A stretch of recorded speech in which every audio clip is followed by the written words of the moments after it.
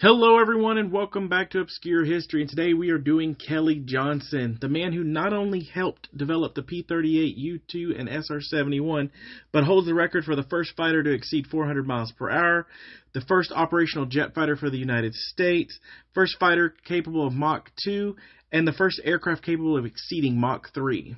This man's innovative mind helped change the aeronautical industry. So let's go ahead and get started. Let's talk about Kelly Johnson. Now, Johnson is actually the son of Swedish immigrants and was born in Michigan and raised in Michigan.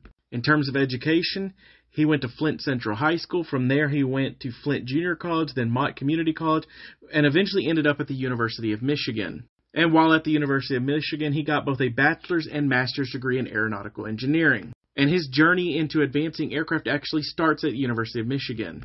While at the University of Michigan, he actually ran wind tunnel tests. One in particular was for Lockheed's proposed Model 10 airliner.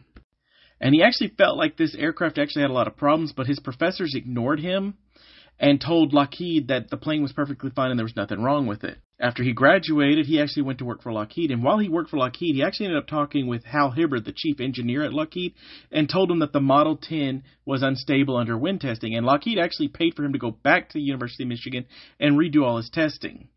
Now they took his advice, made modifications, and the aircraft became the Lockheed Model 10 Electra, which is an extremely successful production aircraft for Lockheed with over 149 produced. But more importantly, this cemented Kelly Johnson as an aeronautical engineer for Lockheed, and they started giving him more tasks. And he had done so well, by 1938 they made him chief research engineer.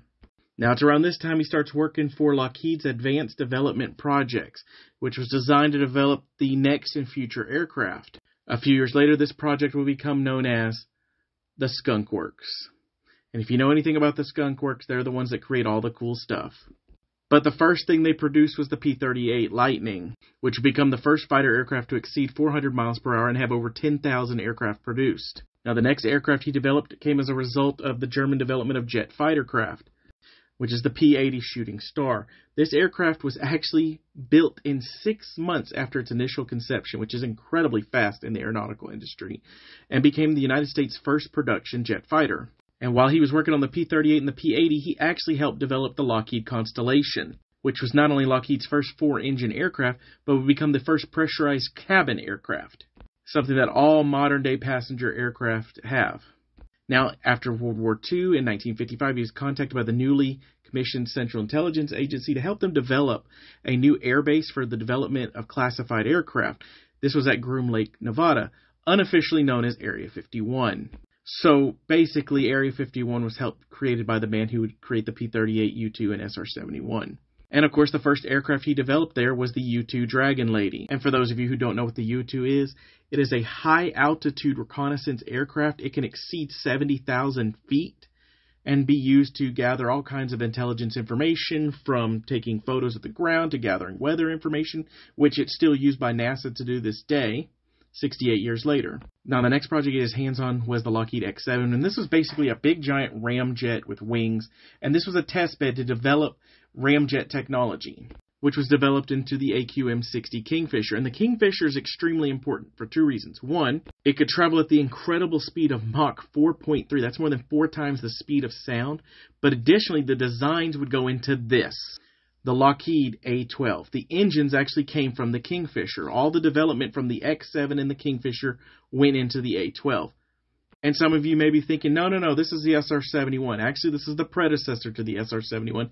This is the CIA funded and developed A12. Now, the A12 did develop into the YF 12, which was supposed to be an interceptor aircraft, but only three were developed and it never really went into service. However, an improved version of these aircraft was developed into the SR 71 Blackbird, that is world renowned. And this was the top reconnaissance aircraft of the Cold War. Nothing could catch it, nothing could beat it, except for money and time.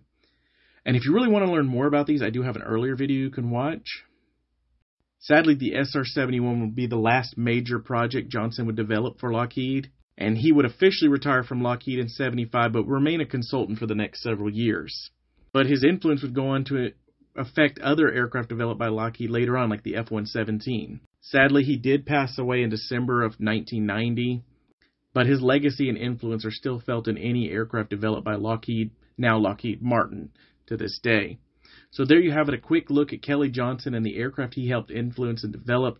And I don't think there's a single one of these aircraft that didn't have a lasting impact on the world around us. So that's it for today. I thank you for joining me for Obscure History, and I look forward to talking to you on the next time.